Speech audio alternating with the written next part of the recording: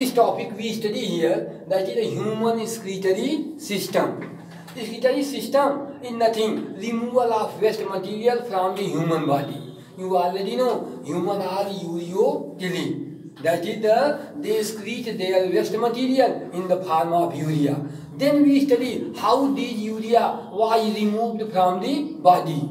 First of all, we know that that is the our body have a protein you already know protein is the 75% of the human body of the dry weight.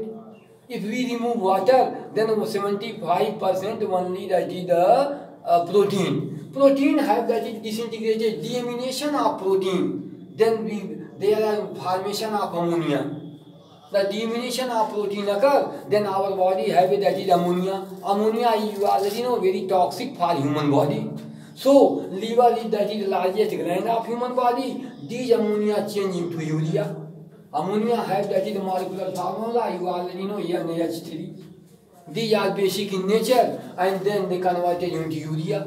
Urea is that is the first organic compound that you already know the first organic compound which is made in laboratory. So these are the urea. These ammonia converted into urea by a organ, human organ, that is liver.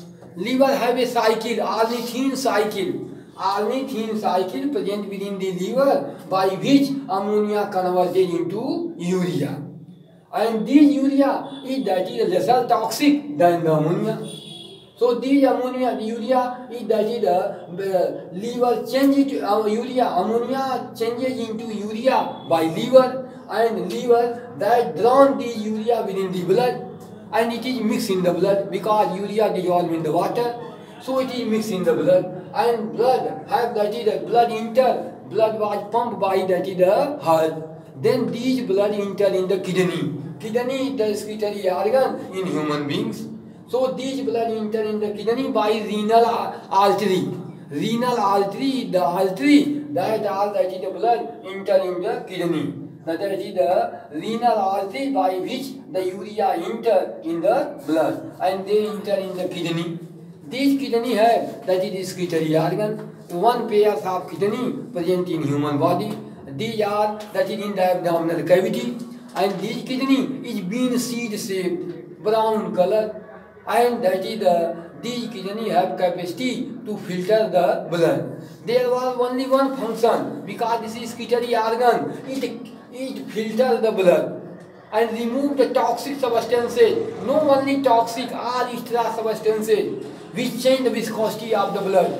That was filtered by kidney. The kidney filters the urea and make the urine. This urine that is the enter in the uh, by the ureter. The urine by the ureter enter in the that is the our urinary bladder. Ureter is the tubules that link urinary bladder to kidney and two ureter that, that is all uh, commonly open in the urinary bladder.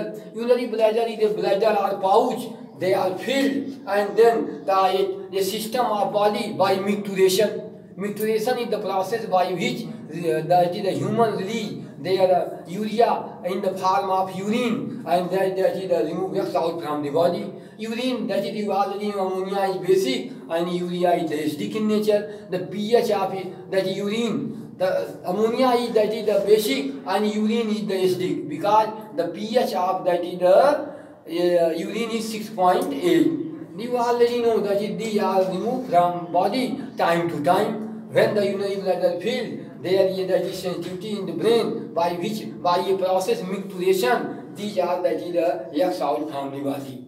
So these are the system, the flow chart that indicates the system how these that is the urea was removed, ammonia was removed that is the in form of urine. So for this purpose our body have a system and kidney is specialized organ for filtration of the blood. They perform 24 hours their function that filter that is the blood and remove the toxic substances and our body and blood that is the what that is the already that is the same their pH same viscosity same urea perform that is the uh, kidney perform other role that is homeostasis homeostasis that is maintained by kidney what is the homeostasis homeostasis is the term homeostasis is the term that term is proposed by Walter B. Cannon. So, what is the role of kidney? That is the kidney perform a role in homeostasis. Homeostasis. Homeostasis. Homeostasis is the term Latin word that was proposed by Walter B. Cannon. Walter B. Cannon proposed a term that is called homeostasis. It means to maintenance of internal environment. To maintenance of internal environment is that is called homeostasis. This is the word homeostasis. And kidney perform role in homeostasis. And how they maintain? They make what is the role of kidney in excretion? That is the role of kidney in excretion. Role of kidney in excretion.